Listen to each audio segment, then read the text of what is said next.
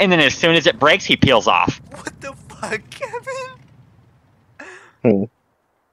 Dude, if you What? can kill enough speed, you you're just gliding. I'm getting on this aisle too. Dude, you're fucking floating. I've got the tactic, dude.